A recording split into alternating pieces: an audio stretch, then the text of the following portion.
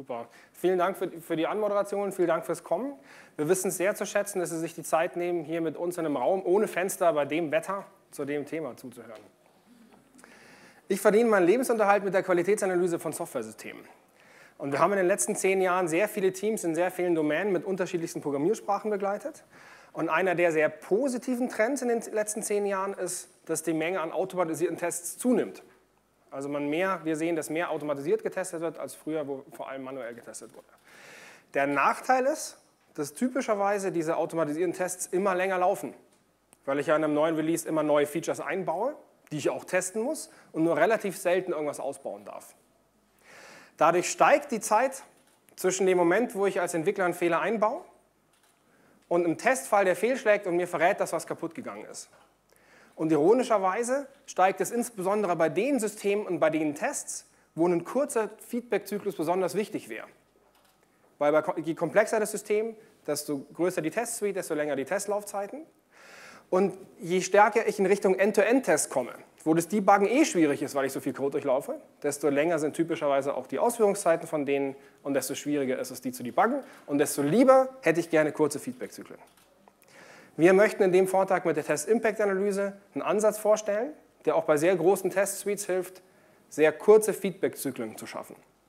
Und vorweg, bitte unterbrecht mich mit Fragen direkt. Es müssen auch keine wohlartikulierten Fragen sein, gern auch einfach Meinung oder Zweifel. Unser Ziel ist nicht, den Vortrag mit den Folien in der Reihenfolge durchzubringen, wie ich es mitgebracht habe, sondern dass ihr die Fragen zu dem Thema beantwortet bekommt, die euch interessieren. Ich werde im ersten Teil die Grundidee von Test-Impact-Analyse vorstellen und eine empirische Studie, die wir auf Open-Source-Systemen mit sogenannten Mutation-Based Testing gemacht haben. Und im zweiten Teil wird Alex eine Case-Study vorstellen, die wir mit Mercateo gemacht haben, wo wir dankenswerterweise die Daten zeigen dürfen. Gerne.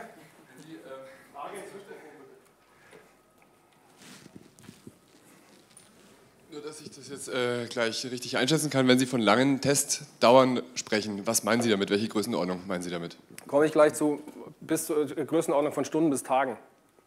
Also äh, hoffentlich sind die in vielen Teams schneller, aber wir sehen viele Kunden, wo es einfach sehr lang dauert. Bevor ich zum Inhalt komme, kurz zu meinem Hintergrund, dass ihr einschätzen könnt, wo die Erfahrungen herkommen. Ich habe bewusst nach wie vor ein berufliches Doppelleben. Ich bin auf der einen Seite Postdoc an der TU München und leite da das Kompetenzzentrum für Software Maintenance in der Forschungsgruppe für Software Engineering. Ich habe den Job, weil mich interessiert, was relevant ist zu messen. Leider wird im Bereich Softwareanalyse meistens das gemessen, was einfach zu messen ist und nicht das, was relevant ist zu wissen. Und vom Messen allein wird nichts besser, vom Wiegen allein nehme ich leider auch nicht ab. Deswegen ist meine zweite Rolle, ich bin einer der Gründer der CQSE GmbH.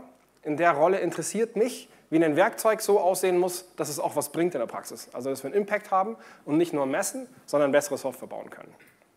Unser Werkzeug heißt Teamscale.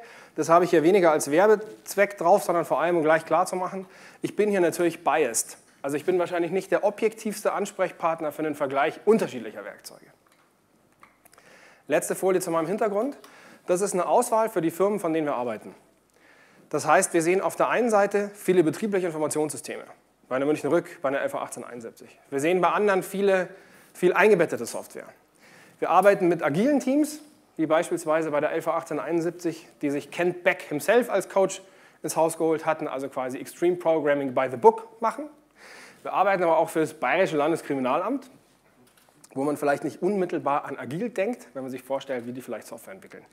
Was ich sagen will, ist, die Erfahrungen, die ich in dem Vortrag vorstelle, sind nicht beschränkt auf eine Programmiersprache, oder eine Domäne oder eine Organisationsform.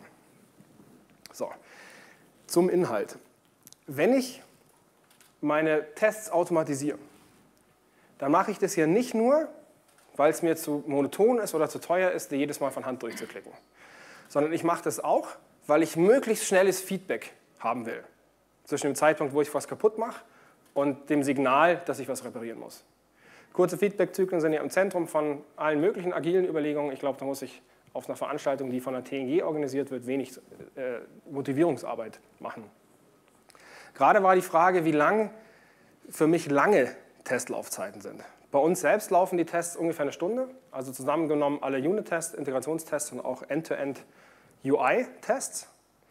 Wir haben, äh, ich habe im letzten Jahr mit einer deutschen Bausparkasse gesprochen wenn die in zehn Umgebungen parallel ihre End-to-End-Tests ausführen und die 24 Stunden durchlaufen lassen, laufen die drei Tage. Und wir bauten, arbeiten mit einem großen Automobilhersteller zusammen, die haben Hardware-in-the-Loop-Teststände, wo man in so einem Schrank so ein halbes Auto nachbaut, mit den Endgeräten drin, um auch im Buskontext Sachen testen zu können. Und wenn die die 10.000 Testfälle durchführen und der 24 Stunden durchläuft, laufen die 20 Tage, um jeden Testfall einmal auszuführen. Das heißt, da bin ich schnell auf einer Größenordnung von Monaten zwischen, ich mache eine Änderung und ein Test fällt um und sagt mir das. Vielleicht so kurz als Bild auch für die anderen. Bei wem laufen Tests? Wer hat Tests am Haus, die länger als eine Stunde laufen? Und zwar nicht nur die schnellen Unit-Tests, sondern alle automatisierten Tests, die irgendwie dabei sind. Bei wem laufen sie länger als zwei Stunden? Hand oben lassen. Bei wem läuft es länger als ein Tag? Also dann sind sie wahrscheinlich noch in verhältnismäßig guter Gesellschaft im Vergleich zu manchen Teams, die wir so sehen. Die Sicht, die ich jetzt gesagt habe, ist ja reduziert auf eine einzige Version, die ich teste.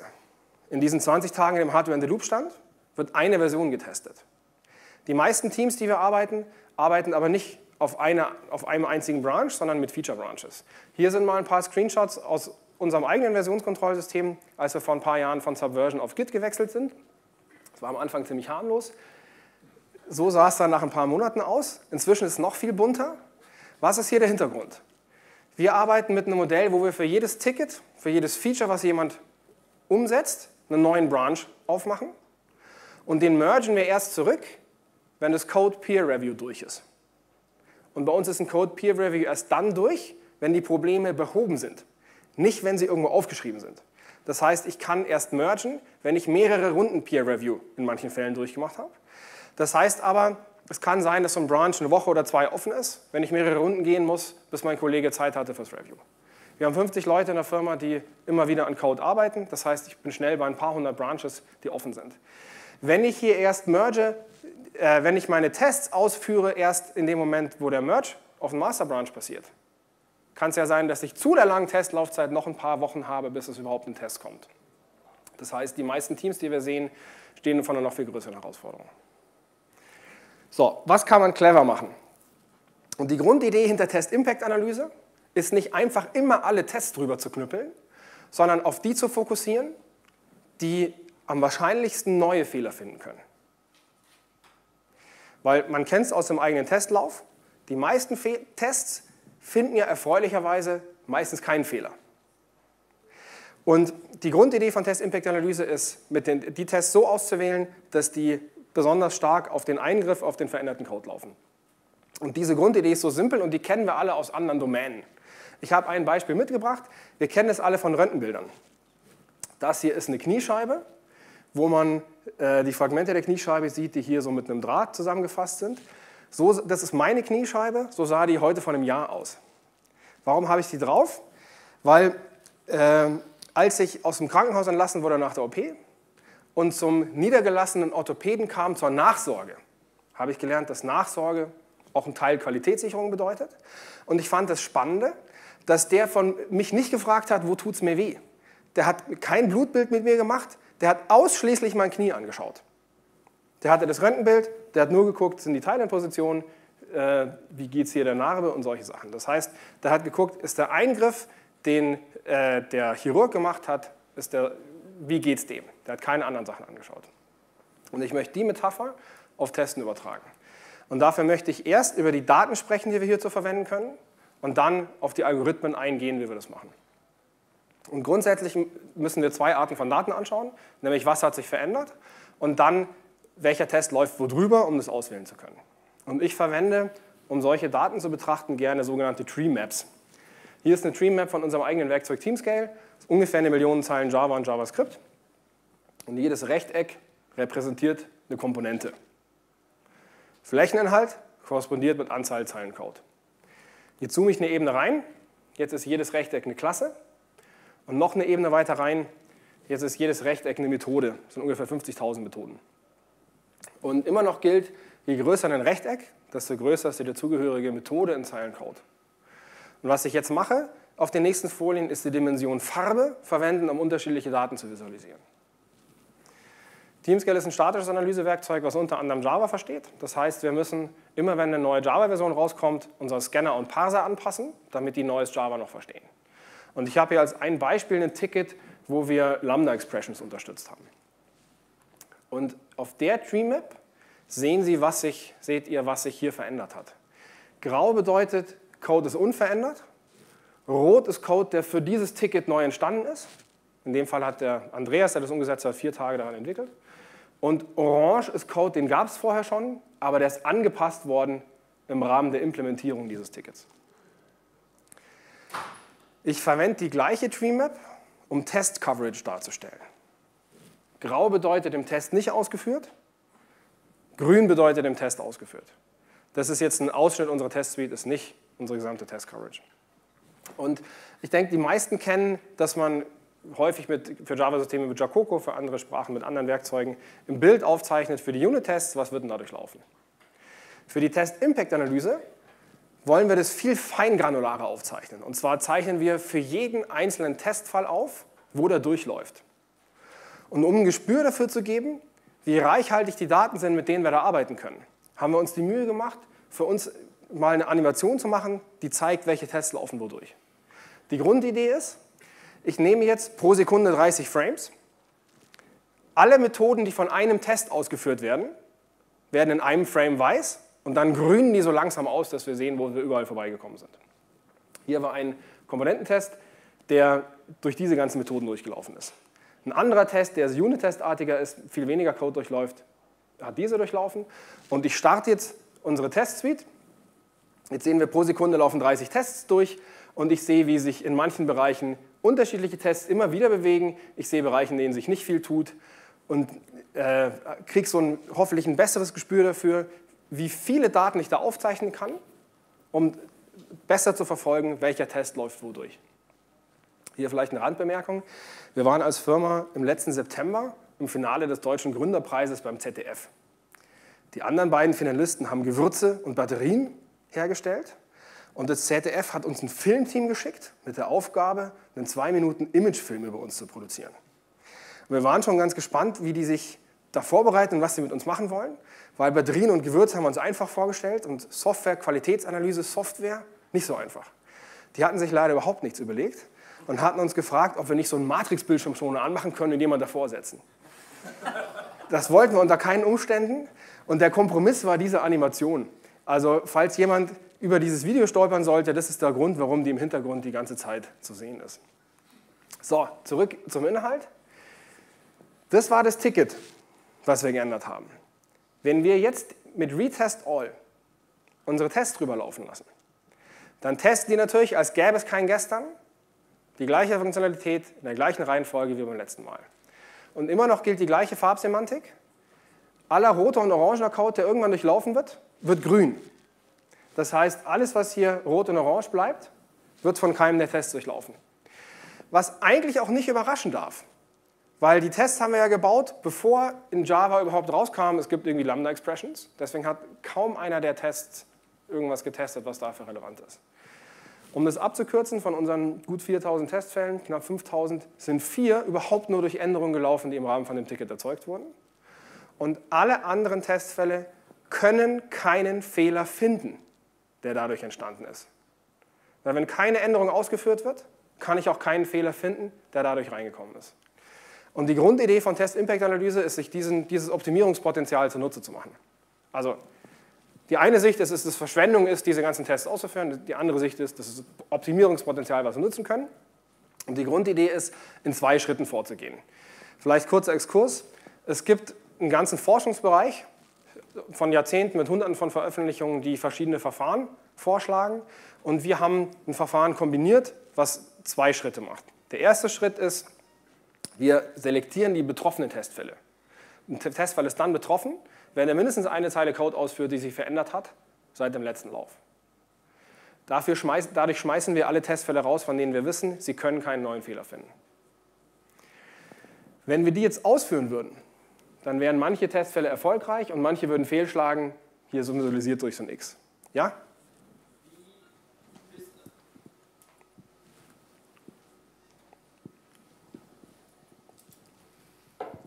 Woher wissen Sie, welche äh, Zeilen alle ausgeführt werden. Also eine neue Zeile kann eine alte Zeile callen, ohne dass der Test davon weiß.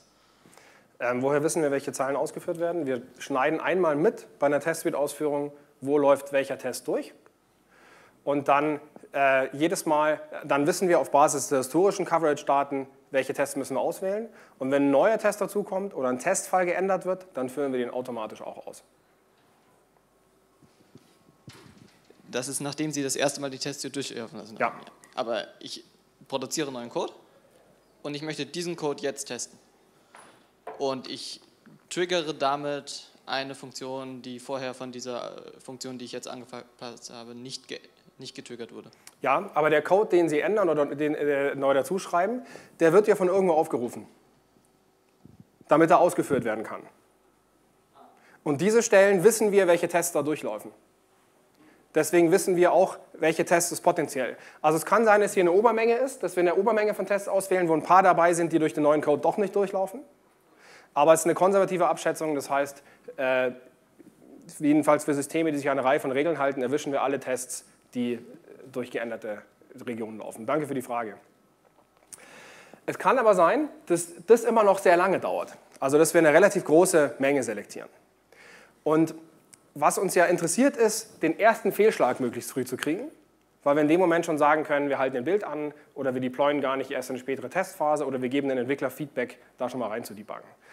Und in der idealen Welt würden wir gerne alle Fehlschläge nach vorne sortieren, weil wir dann sehr früh bremsen können. So genau kriegen wir es natürlich nicht hin. Wenn wir so genau analysieren könnten, welche Tests fehlschlagen, dann müssten wir die gar nicht ausführen. Da sind auch ein paar unentscheidbare Probleme dahinter.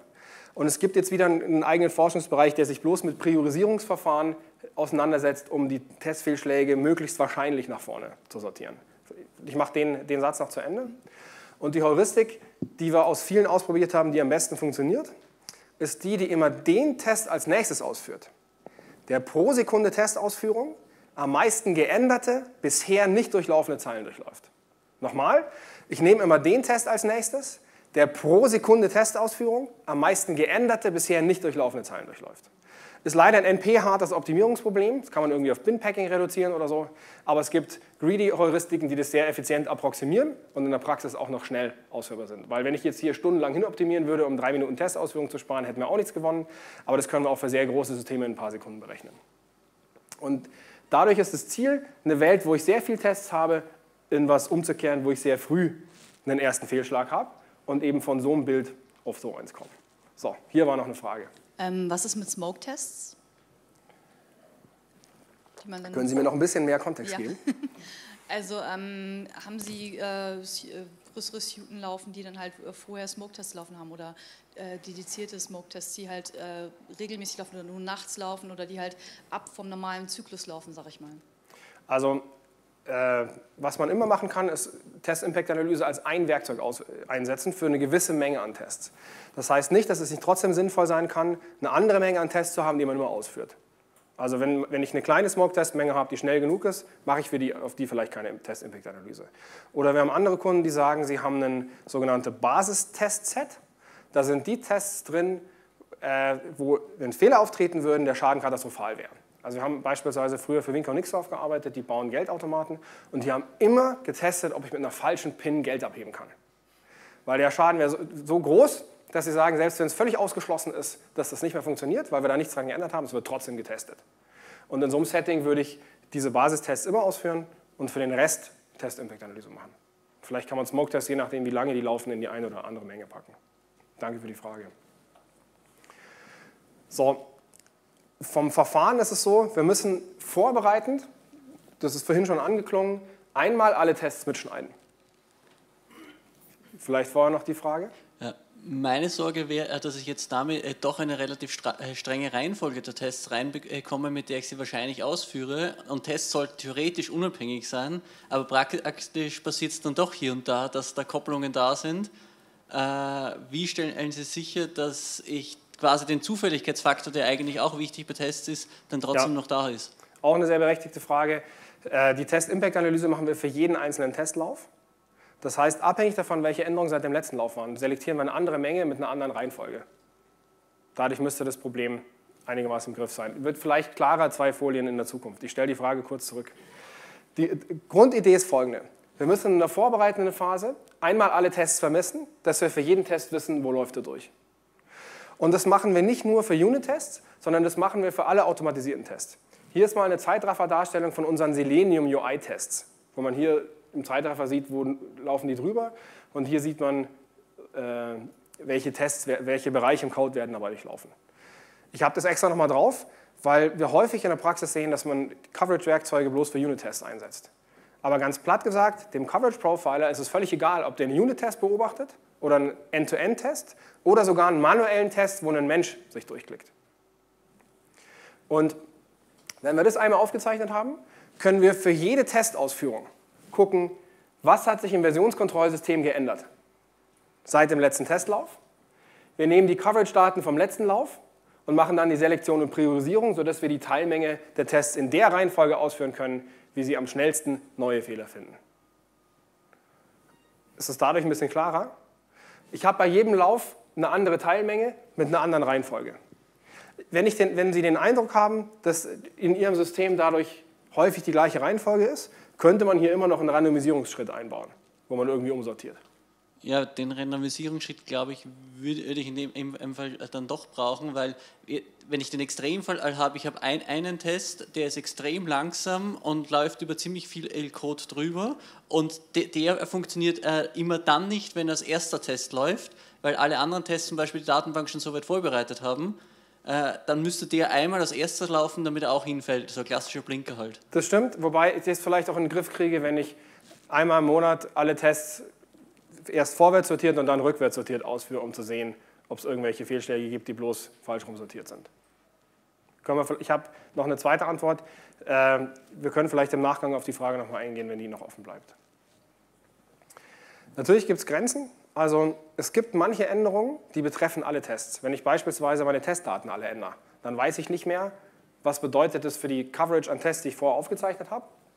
Müssen wir potenziell wieder alle ausführen wenn sich ein Test selbst ändert, muss ich den wieder ausführen, weil ich nicht weiß, ob die Coverage noch stimmt. Und ich möchte den Punkt nochmal hervorheben, für die, die hinten sitzen. Es gibt keine Garantie, dass die selektierten Tests alle Fehler finden. Was meine ich damit? Es gibt in der Literatur eine Menge sogenannter sicherer Selektionsverfahren. Die garantieren einem, dass die Teilmenge der selektierten Tests die gleichen Fehler findet wie die Gesamtmenge der Tests. Die haben in der Praxis zwei Probleme. Erstens machen die Annahmen, die in der Praxis meistens nicht erfüllt sind. Die nehmen nämlich an, dass ich, wenn ich äh, die gleichen Tests auf dem gleichen Stand des Systems 100 Mal ausführe, ich 100 Mal den gleichen Code durchlaufe. Das ist in der Praxis aber häufig nicht so, weil ich oft irgendwelche Race Conditions habe oder unterspezifizierte Testfälle, sodass ich das leicht unterscheiden kann. Zweitens haben die den noch viel, blöderen, noch viel blödere Eigenschaft, dass diese sicheren Verfahren oft eine Teilmenge selektieren, die fast die Gesamtmenge ist. Also da spare ich in der Praxis nicht mehr. Deswegen haben wir Verfahren implementiert, die, die äh, nicht versuchen, auf Teufel komm raus sicher zu sein, aber eine sehr hohe Ersparnis in der Praxis in Zeit bringen.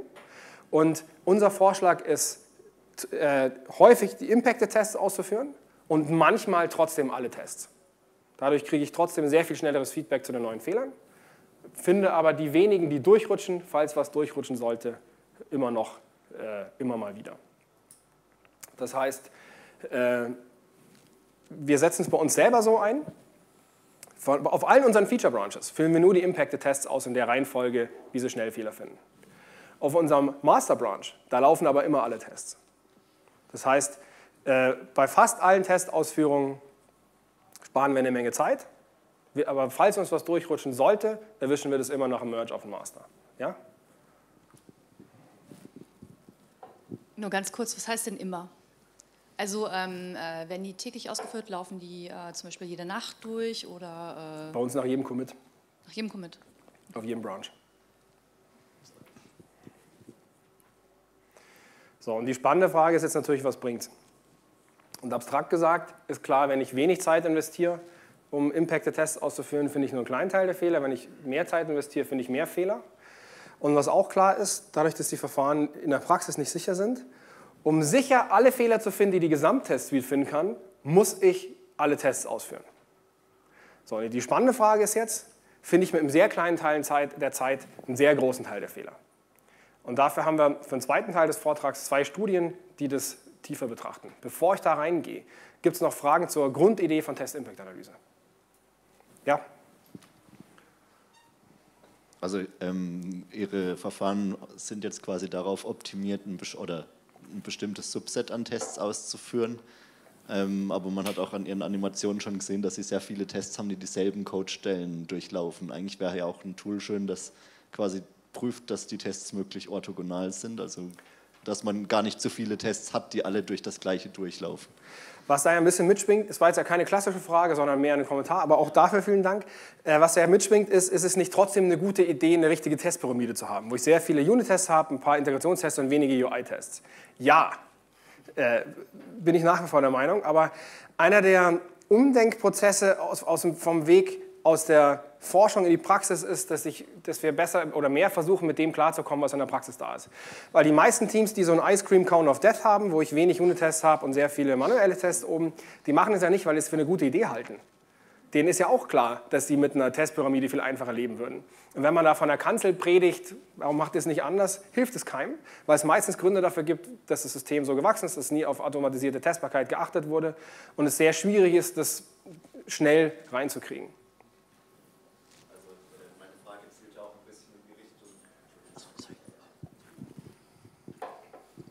Die Frage zählt ja auch ein bisschen in die Richtung, ob das Tooling nicht eigentlich schon viel Voraussetzungen bringen würde, um zumindest mal zu visualisieren, äh, welche Tests vielleicht unnötig sind, weil sie tatsächlich ja. vom anderen Test komplett schon mit gecovert sind? Oder? Ja, also tatsächlich, äh, um da noch eine Bemerkung zu machen, dadurch, dass wir jetzt testfallspezifische Coverage-Daten haben, können wir eine Menge zusätzliche spannende Sachen machen.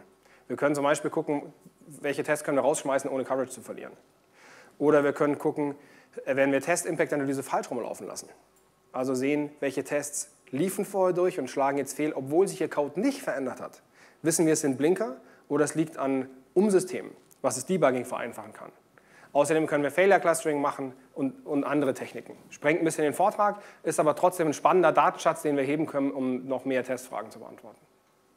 So, hier war noch ich habe eine ganz kleine spezifische technische Frage. Sie haben erwähnt, ähm, Sie haben einen eigenen Java-Parser geschrieben. Gab es da nichts äh, Verwendbares, ah, Offenes? Doch, äh, kurzer Ausflug. Wir unterstützen in der statischen Analyse über 30 Sprachen. Und für sowas wie Java findet man natürlich gute Open-Source-Parser. Aber wir unterstützen auch Sprachen wie JPanther, MText, Clue oder IEC 61131. Da gab es natürlich keine Parser. Und wir haben ein Framework für sogenannte Shallow-Parser, die sehr robust sind und auch mit unterschiedlichen Dialekten zustande, äh, zurechtkommen. Und das haben wir halt konsistent für alle Sprachen.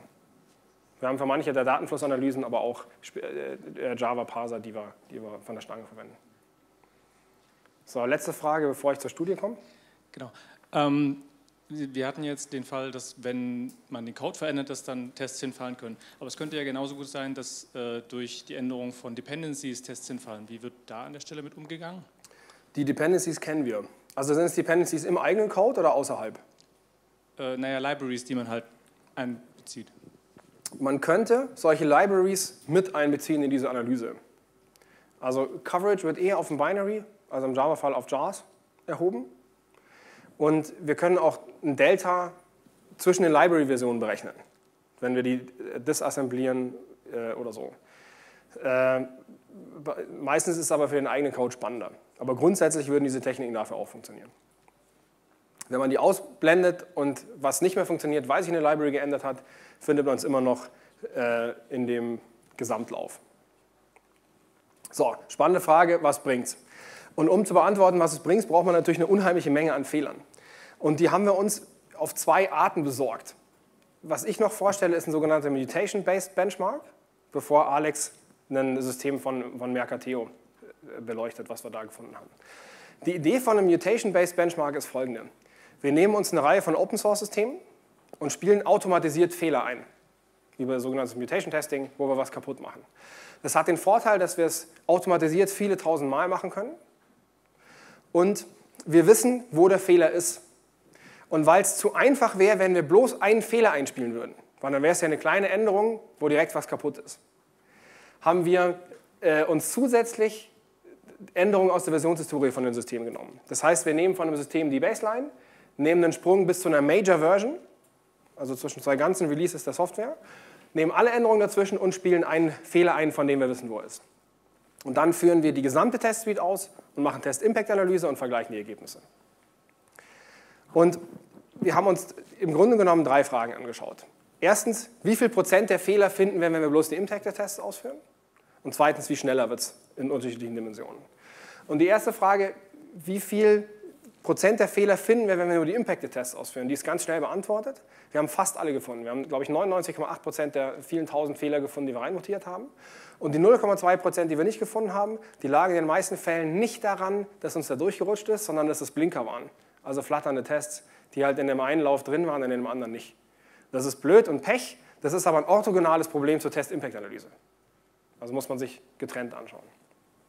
Wo ich tiefer darauf eingehen will, ist, wie viel Zeit kann ich sparen, wenn ich selektierte Tests nur ausführe oder auch die Priorisierung mache. Und für die erste Frage haben wir uns, für diese Frage haben wir uns angeschaut, wie viel Zeit spare ich, wenn ich alle selektierten Tests ausführe. Und da haben wir uns diese Systeme angeschaut, eine Reihe von Open Source Java Systemen und Teamscale selber.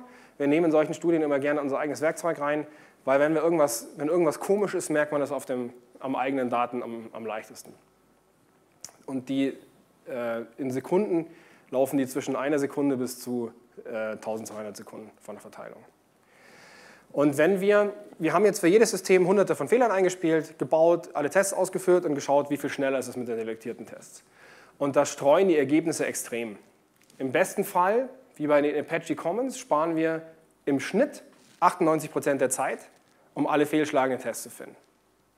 Im schlechtesten Fall sparen wir überhaupt nichts. Also der Symia Parser ist hier unten, äh, da haben wir einfach im Schnitt überhaupt nichts gespart. Im Durchschnitt sind es 64 Prozent, aber die, die wir einsparen. Aber die spannendere Beobachtung ist, ich lese es hier vor, weil man es von hinten nicht sehen kann, die Einsparung bei der Erkennung aller fehlgeschlagenen Tests schwankt sehr stark. Und das ist irgendwie unbefriedigend und die spannende Frage ist, woran liegt das? Und die Antwort ist, dass es davon abhängt, wie die Tests geschnitten sind oder was zu der Frage davor passt, wie gut passen die in eine klassische Testpyramide.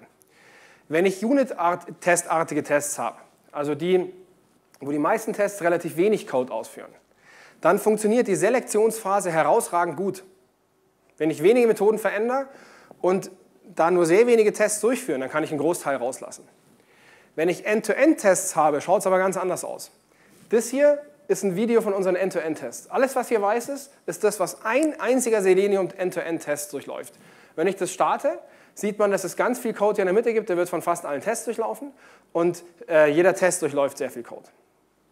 Aber wenn ich eine Methode ändere, die von allen Tests durchlaufen wird, dann kann sich meine Selektionsphase auf den Kopf stellen, die wird nie irgendeine Ersparnis erzeugen. Was können wir machen? Die zweite Frage, die uns interessiert hat, ist, wie schnell dauert es denn, bis ich den ersten Fehlschlag finde? Weil häufig sorgt ein Fehler ja dafür, dass mehrere Tests umfallen. Und in dem Moment, wo ich den ersten Fehlschlag finde, kann ich mein Bildschirm anhalten und kann das Feedback geben, das ich reinschaue. Und was wir dafür gemacht haben, ist, die, Tests, die, die Test-Impact-Analyse zu starten und nach einer gewissen Zeit abzuschießen. Und zwar nach 1% der Zeit, die es dauern würde, alle Tests auszuführen, nach 2%, nach 5% und 10%. Und jetzt bekommen wir ein viel einheitlicheres Bild. Nämlich im schlechtesten Fall haben wir in 1% der Zeit 61% aller einmutierten Fehler gefunden. Also nicht 0% Ersparnis, sondern hier haben wir in 1% der Zeit, die es kosten würde, die gesamte Testsuite auszuführen, für 61% der fehlerhaften Versionen gefunden, dass da mindestens ein Fehler drin ist. Und im Schnitt war das für 80, oder im Median hier war das für 80% Wenn wir 2% spendieren, ist der schlechteste schon bei 77% und im Median sind wir bei 90% Und wenn wir mehr Zeit spendieren, wird es natürlich noch ein bisschen besser. Und vorhin war die Frage, was passiert denn, wenn ich einen sehr langen Test hinzufüge? Also wenn ich quasi einen Denial-of-Service-Angriff auf meine Testsuite mache, indem ich einen Test einchecke, der irgendwie zwei Stunden läuft. Und die Antwort ist, dass die Testpriorisierung den nach ganz hinten sortiert, außer es ist der einzige Test, der diese Änderungen durchläuft. Und das ist, glaube ich, genau das Verhalten, was ich haben will. Also wir sortieren ja nach, wie viele geänderte Zeilen, die bisher nicht ausgeführt sind, durchläuft ein Test pro Sekunde. Und da ist so ein sehr langsamer Test sehr weit hinten, außer er hat das beste geänderte Zeilen pro Sekunde Verhältnis aus allen verbleibenden Testfällen.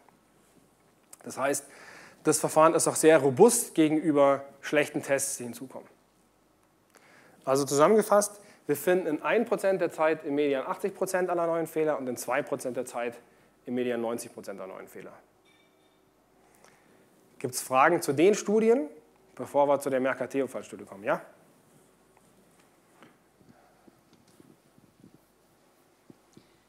Wenn ich jetzt mehrere Tests habe, die den gleichen Code auch testen, dann ist es ja nicht völlig egal, welcher, bei welchem ich den Fehler entdecke. Weil wenn ich jetzt irgendwie einen End-to-End-Test habe, sehe, der funktioniert nicht, finde ich sehr viel schlechter die Methode, wo was schiefgegangen ist, als wenn ich den Unit-Test habe, der eben nur die kurze Methode testet. Gibt es da irgendwie Erfahrungen, ob auch die richtigen Tests oder die, ja. die es mir leicht machen, die sind die? Der Unit-Test hat wahrscheinlich ein viel besseres Verhältnis aus äh, wie, viel, wie schnell der ist. Deswegen wird er weit vor den End-to-End-Tests sortiert in der, in der Priorisierung. Dadurch ist es unwahrscheinlich, dass als erster der fehlschlägt. Und es, was man immer noch machen kann, selbst wenn wir sehr früh einen Fehler finden und Entwickler benachrichtigen, spricht ja nichts dagegen, die Tests noch weiter laufen zu lassen. Wir könnten immer noch alle ausführen, vielleicht reagiere ich ja gar nicht gleich und habe dann äh, alle Test-Fehlschlagdaten, die ich mir irgendwo abziehen kann.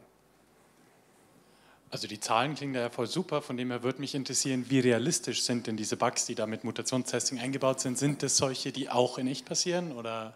Das ist eine hervorragende Überleitung zur nächsten, zur nächsten Studie. Ich nutze das gleich. Alex, bitteschön.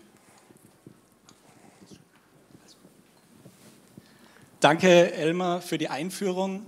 Ähm, wie komme ich dazu, dass ich heute die Ehre habe, mit Elmar am Big Tech Day über Test-Impact-Analyse zu sprechen? Also ich bin Software Consultant bei TNG und vor meiner Consulting-Zeit habe ich Informatik studiert an der TU München und durfte mit Elmar meine Masterarbeit zur Test-Impact-Analyse schreiben. Diese Masterarbeit war eine konkrete, praxisnahe Fallstudie bei Mercateo. Mercateo ist ein B2B, eine B2B-Online-Betriebsplattform, Technisch handelt es sich bei der Plattform um ca. 4,3 Millionen Lines of Code, hauptsächlich in Java geschrieben, 736 Maven-Submodule. Das System wird von ca. 60 Entwicklern seit 2001 entwickelt und die Laufzeit von den lokalen Tests sind ca. 37 Minuten. Ja, das geht noch schlimmer, aber das ist schon auf jeden Fall ein Painpoint. Und eben auf die Überleitung gesprochen, was war das Ziel der Arbeit zu verifizieren, ob diese Mutation-Based Testing äh, Studien auch, wenn wir äh, konkrete, richtige Fehlerdaten suchen, auch äh, verifizierbar sind. Dazu haben wir uns in den letzten sechs Monaten, über einen Zeitraum von sechs Monaten, den Git-Commit-Graph hier äh, abgebildet von, äh, bei Mercateo angesehen und haben äh, die Systemzustände gebaut. Ja, also hier sehen wir Systemzustände. Die grünen Punkte symbolisieren jetzt einen Zustand, wo alle Tests durchgelaufen sind und die roten Punkte symbolisieren den Zustand, wo es mindestens einen Fehler gegeben hat. Interessant für uns sind dann natürlich genau diese Übergänge, also Änderungen im Code, die von dem Entwickler gemacht worden sind, die mindestens einen Test fehlschlagen lassen da eben über sechs Monate 1605 Commits untersucht und wir konnten ungefähr fünf, wir konnten 50 fehlerverursachende Änderungen identifizieren. Und da ist jetzt die Frage, was ist die Zeitspanne, wie lange es dauert, bis wir den ersten Fehler finden. Und wenn wir, wenn wir uns Retest All ansehen, dann sehen wir hier einen Boxplot, den kann man so interpretieren, dass die Linie in der Mitte der Box ist der Median und die Box symbolisiert das zweite und das dritte Quartil, also die Hälfte der Daten ist innerhalb dieser Box. Das ist praktisch, weil man sieht relativ schnell, wie die Daten verteilt sind und wo sie liegen. Wir haben hier einen Median circa von 60 Prozent. Das heißt, mit Retest All haben wir nach circa 60 Prozent der Gesamtausführungszeit im Schnitt, im Median, den ersten Fehler gefunden. Dazu sagen muss man da, wir haben die, nicht nur die Testausführungszeit gemessen, sondern die komplette Ausführungszeit des Maven-Builds ohne Compile-Zeit. Und das dann verglichen mit Test-Impact-Analyse. Und bei Test-Impact-Analyse sieht der Boxplot so aus. Das ist jetzt so schnell, dass man es wahrscheinlich von hinten gar nicht erkennen kann. Aber wie gesagt, die komplette äh, Maven-Ausführungszeit. Und dann kann man sich nochmal das von einem anderen Blickwinkel betrachten und sich überlegen, wie ist die Verteilung. Hier äh, im Durchschnitt äh, sehen wir, dass 33 Prozent von, äh, von der Zeit im Maven Overhead fällt und nur 67 Prozent der Ausführungszeit eigentlich reine Testausführungszeit ist für, für Retest All. Für Test-Impact-Analyse oben sieht man es relativ schlecht, deswegen zoome ich nochmal rein. Bei Test-Impact-Analyse haben wir dann nur 19 Prozent der Zeit wirklich für die Testausführung äh, ausgeführt und 81 Prozent für Maven-Overhead. Das liegt daran, weil wir 736 Maven-Module haben. Infolgedessen kann man hier sogar noch mehr optimieren, aber aus den Tests ist dann wahrscheinlich nicht mehr viel zu holen. Aber wenn man hier noch optimieren will, ist ein ganz konkretes Finding auch, dass man noch am Bildtool zusätzlich noch Optimierung rausholen kann. Gibt es dazu noch Fragen konkret?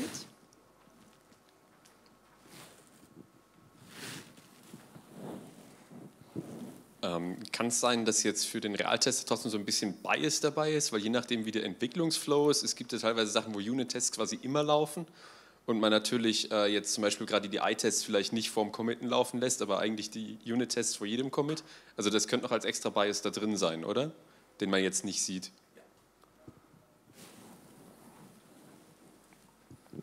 Genau, also die Ausführungszeiten, die wir hier sind, das waren eben lokale Tests, das waren alle, also es waren hauptsächlich Integrations- und, und Unit-Tests, aber klar, der Bias ist da natürlich nochmal äh, drinnen. Ziel war eben eine praxisnahe Case-Study zu machen und mal zu gucken, was ist die Einsparung in der Entwicklung wirklich äh, im produktiven Einsatz dann. Vielleicht noch eine Ergänzung. Man muss bei einer empirischen Studie immer irgendeinen Tod sterben. Entweder man hat viele ja. Fehlerdaten und die sind aber da ist unklar, wie praxisrelevant die sind, oder man nimmt sich die aus der Praxis, da hat man dann weniger Daten. Deswegen haben wir es trianguliert über unterschiedliche Verfahren. Und wir haben noch eine Studie, die ich im Vortrag nicht gezeigt habe. Wir hatten einen anderen Studenten, der hat sich GitHub-Projekte genommen, ein paar tausend, die mit Travis CI gebaut werden, wo wir uns über äh, ein Werkzeug rausschauen konnten, äh, an, wo sind solche Paare, wo bei den Unit-Tests, die eingecheckt wurden, das gleiche Problem aufgetreten ist. Der hatte sich 60 Projekte angeschaut über ein paar tausend Versionen hatten das gleiche Bild. Da könnte der gleiche Bias drin sein, aber dadurch, dass wir dieses, diesen großen äh, diesen große Verbesserungen sowohl in dem Mutation-Based Benchmark gesehen haben, als auch bei Mercateo, als auch bei der GitHub-Projekte, als auch bei dem großen Automobilhersteller, äh, bin ich ganz zuversichtlich, dass das überall also ich gilt. Ich glaube sowieso sofort, dass das was bringt. Die Frage ist, ob noch ein bisschen mehr Bias irgendwo drin ist, den man noch nicht sieht. So. Und ich glaube, da ist die ehrliche Antwort, der, wie groß der Faktor ist, hängt davon ab, wie ineffizient die Tests vorher waren. Die alte Lehre ist ja auch, man hat den größten Speed-up nicht da, wo man sich den cleversten Algorithmus ausdenkt, sondern wo man sich das Problem sucht, wo es vorher am ineffizientesten gelöst war. Weitere Fragen dazu? Nein. Dann übergebe ich äh, wieder an Elmar. Danke dir. Ich mache es wieder mit dem Mikro. Ich möchte zum Abschluss noch zeigen, was man mit den Daten noch machen kann. Wir hatten vorher schon die Frage, ob wir nicht Test Suite Minimization und sowas machen können. Es gibt noch ein bisschen naheliegendere Fragen, die wir beantworten können. Und zwar, wir sprechen von der Art der Analyse, die wir machen, gerne unter dem Begriff Software Intelligence. Ähnlich wie Business Intelligence, wo ich mir aus den unterschiedlichen transaktionalen Daten aus meinem Business versuche, relevante Informationen zu extrahieren, hängen wir uns an die Daten, die in der Entwicklung und im Test anfallen. Also an Code, an Versionskontrollsystemen, an Tickets, an Test-Coverage und so weiter und beantworten die Fragen, die uns helfen sollen, effizienter zu entwickeln oder zu testen. Worüber wir gerade gesprochen haben, ist, welche Tests soll ich jetzt ausführen? Wo ich noch kurz darauf eingehen möchte, ist, wo sind Lücken in meinem Test? Weil wenn ich weiß, was sich geändert hat und was ich in welchen Tests durchlaufen habe, kann ich natürlich auch sehen, wo sind Änderungen, die ich im Test nicht durchlaufen habe. Und wir nennen das Test-Gap-Analyse. Ich habe noch zwei Beispiele mitgebracht. Das hier ist eine Tree Map von einem betrieblichen Informationssystem in C-Sharp, was zum Zeitpunkt der Analyse eineinhalb Millionen Zeilen hatte wo 30 Entwickler für sechs Monate daran gearbeitet haben und 20 Tester drei Wochen in der Test Factory Regressionstests ausgeführt haben. Farben deuten folgendes. Grau ist Funktionalität, die sich seit dem letzten Release nicht verändert hat. Bunt ist der neue Code. Und nur wenn der grün ist, ist er so im Test zur Ausführung gekommen, wie er released wird. Alles, was rot und orange ist, ist Code, der komplett neu oder geändert ist der in keiner Testphase, weder automatisiert noch manuell zur Ausführung gekommen ist. Wie viele Fehler in den grünen Bereichen sind, wissen wir ehrlich gesagt nicht. Wir wissen nur, dass da Testausführung vorbeigekommen ist. Wir wissen streng genommen nicht, wie gründlich da wirklich getestet wurde. Weil wir nicht wissen, wo hat der Tester gerade darauf geschaut. Beim automatisierten Test wissen wir nicht, welche Assertions oder Checks sind da wirklich drin. Aber in den roten und orangen Bereichen ist der Umkehrschluss so trivial wie richtig. Alle Fehler, die da drin sind, und wir wissen, dass Code, der frisch geändert wurde, die höchste Fehlerdichte hat. alle Fehler, die da drin sind, keinen davon können wir gefunden haben, aber wir haben ja nichts davon im Test überhaupt ausgeführt. Das ist so nicht released worden. Da sind noch andere Testphasen nachgeschoben worden. Und unser Ziel mit der Test-Gap-Analyse ist nicht, als Selbstzweck alles grün zu kriegen, sondern eine bewusste Entscheidung, Entscheidung zu erlauben, will man es so releasen oder will man vielleicht manche Dinge nochmal nachtesten. Das hier ist die Gesamtsystemsicht. Die ist interessant, wenn es ein großes Release gibt, wo es vielleicht sogar einen Code-Freeze gibt und ein Testverantwortlicher sicher gehen will, dass man alle Test-Gaps geschlossen hat. Unsere Beobachtung ist, dadurch, dass Release-Zyklen immer kürzer werden, ist Entwicklung und Test gerade auf Feature-Branches immer stärker parallelisiert. Und was mich da eher interessiert, ist auf die Ebene von einem einzelnen Ticket zu schauen. Unter Ticket verstehe ich sowas, was eine Beschreibung von der Unit of Work, die in dem Issue-Tracker drin steht. Die heißt leider in jedem Team anders. Die heißt manchmal Bug oder Issue oder Change Request oder User Story oder Epic oder was auch immer. Immer wenn ich Ticket sage, bitte mental das hören, was es bei euch heißt. Das ist ein Screenshot aus unserer eigenen Entwicklung. Hier sieht man äh, aus dem Jira das, die Ticketbeschreibung, den Zustand, wer es bearbeitet hat und dann die Test-Gap. Wie berechnen wir das? Wir geben beim Commit an, auf welches Jira-Ticket sich das Change-Set bezieht. Und dann können wir, wenn wir die Versionshistorie auslesen, für jedes Ticket ausrechnen, welcher Code wurde angefasst, um dieses Ticket zu implementieren. Weil wir auf Code-Ebene die Coverage wissen, können wir die auf Tickets hochheben. Und dann hier auch einen Drilldown machen und reingucken, für dieses Ticket ist das die Tree Map der Methoden, die angefasst wurden und dann sehen, was ist hier verändert worden und was nicht. Unsere Erfahrung ist, dass äh, es auf der Ticket-Ebene viel handhabbarer ist und viel einfacher zu priorisieren, weil ich mit den Tickets viel näher an der Fachlichkeit bin als mit dem Gesamtcode. Und meistens ich im Versionskontrollsystem eh schon eine gewisse Kritikalität auf den Tickets hinterlegt habe und dann einfacher priorisieren kann. So, ich fasse zusammen. Retest All ist eine sehr ineffektive Strategie, wenn ich in der Continuous Integration häufig automatisierte Tests mache. Und mit Test-Impact-Analyse können wir die Tests auswählen und so ordnen, dass wir bei jedem Test das Set ausführen in der Reihenfolge, wie es sehr schnell neue Fehler finden kann. Und von den verschiedenen Studien, sowohl über die Mutation-Based Benchmark, bei Mercateo, als auch bei den anderen genannten, finden wir in 1% der Zeit 80, für 80% der Builds, dass mindestens ein Fehler drin ist und in 2% der Zeit für 90% der Builds. An dieser Stelle nochmal vielen herzlichen Dank an Mercateo, dass wir es machen durften und auch darüber reden dürfen. Und insgesamt vielen Dank für die Aufmerksamkeit.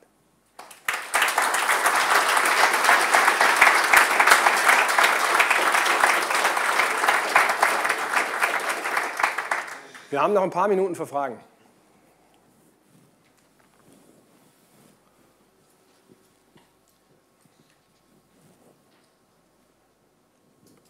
Frage ist jetzt wahrscheinlich nicht gut gestellt und nicht gut beantwortbar, aber äh, Tests testen ja nicht Korrektheit, sondern sie testen unverändertes Verhalten. Ähm, wie gut stimmt das getestete Verhalten mit dem korrekten Verhalten überein in der Praxis? Also ich, ich habe manchmal meine Zweifel bei uns und äh, die Frage ist, ob man so eine generelle Aussage, es hängt sicherlich von der Codebase ab, es hängt sicherlich von den Leuten ab, die die Tests geschrieben haben, es hängt sicherlich von der Disziplin ab, mit der man die ausführt, aber ja. so Gut-Feeling. Ähm, ich flüchte mich auf eine Anekdote, weil ich kein, kein empirisches Gut-Feeling habe an der Stelle. Was wir sehen ist, ähm, wir nutzen hier ja Test-Coverage als ein Analysemittel. Wir sehen manche Teams, die setzen Test-Coverage als ein Optimierungsziel ein. Also die sagen, unsere Abteilung braucht 80% Test-Coverage oder so. Und gerade, es gibt manche Bereiche, gerade so reglementierte Bereiche wie Avionik, wo eine gewisse Test-Coverage nachgewiesen werden muss, damit ich überhaupt irgendeine Zertifizierung kriege. Und in den Bereichen sehen wir häufig sogenannte Coverage Test Suites. Die zeichnen sich dadurch aus, dass die sehr viel ausführen und keinen einzigen Check drin haben. Das hat den Vorteil, dass die auch sehr erwartungsarm sind, weil die fallen fast nie um. Aber die füllen halt auch sehr wenig Tests. Und da ist, glaube ich, eine krasse Diskrepanz zwischen dem, was ich als Korrektheit verstehe und das, was so ein Test macht. Aber in der überwiegenden Zahl der Teams, wo Tests freiwillig geschrieben werden oder wo es manuelle Reviews auf den Tests gibt, ist es, glaube ich, ist nicht so eine krasse Schere zu beobachten. Und vielleicht noch, noch einen Datenpunkt. Wir haben ein paar Kunden, die tatsächlich eine sehr hohe Test-Coverage haben und auch automatisierte Tests gut im Griff haben. Und die sagen aber alle, dass sie genauso viel Code und genauso viel Entwickler und genauso viel Aufwand für die automatisierten Tests haben wie für den Produktionscode. Also das ist nichts, was, es, was man so nebenbei macht, wenn man den Level an Testautomatisierung und Zuverlässigkeit erreichen will. Danke für die Frage. Danke für den Vortrag. Ich habe folgendes Problem im Kopf, und zwar ein verteiltes System und es soll ein Akzeptanztest gemacht werden, das heißt, man spricht mehrere Schnittstellen an, Soap-Diameter und weitere Sachen und man bekommt den Code von irgendeinem Dienstleister und jetzt will man so Check-MK-mäßig, so Monitoring-mäßig gewährleisten, dass das System immer funktioniert. Aber wenn man alle Permutationsdaten durchlaufen würde, wären das mehrere Tage. Dann könnte man ja mit der Test-Impact-Analyse natürlich herausfinden, welche Permutationen überhaupt sinnvoll sind, abzutesten. Ist das. Äh, also, ich glaube, ich kriege mit der Test-Impact-Analyse ein ganz gutes Testset hin, was mir äh, so eine Settingskurve schafft, dass ich mit wenig Zeit viel abdecke ja. und dann auch hoffentlich früh viele Fehler finde. Ich glaube, deine Formulierung war, welche Permutationen sinnvoll sind. Ich ja. bin gerade ein bisschen defensiv, weil abhängig davon, was man unter sinnvoll definiert, kann es sein, dass Test-Impact-Analyse dafür hilft oder nicht. Also okay. wenn es darum geht, schnell die, die Fehler zu finden, ist Test-Impact-Analyse, glaube ich, eine gute Idee. Wenn es dafür geht, darum geht, äh, einen Mutationsraum abzustecken, der möglichst realistisch für die Praxis ist, da gibt es andere Arbeiten aus dem Bereich Software-Produktlinien, wo ich einen sehr, sehr großen Konfigurationsraum habe, wo es Verfahren gibt, die clever samplen, dass ich nicht alle meine Tests im gleichen Cluster im Permutationsraum habe. Es sprengt ein bisschen den Vortrag, kann ich gerne im Nachgang was, was zu sagen. Und äh, funktioniert der genannte Ansatz auch, wenn ich gar nicht den Programmcode habe, sondern nur die Systeme als Blackboxes vor mir habe und nur die APIs? Also Test-Impact-Analyse grundsätzlich schon, weil ich kann ja auch die, die Binaries analysieren und aufzeichnen, was wo durchläuft. Aber für Test-Impact-Analyse könnte man das, glaube ich, auch machen. Für Test-Gap-Analyse auf der Ebene oder auf der Ebene geht es nicht so gut, weil selbst wenn ich weiß, was alles geändert und nicht getestet ist, sehe ich den Binary häufig nicht vernünftig an, was ist das eigentlich für Funktionalität. Also unsere Empfehlung ist immer darauf zu drängen, dass man den Quelltext auch bekommt, gerade wenn man einen Zulieferer hat, der im eigenen Auftrag was macht.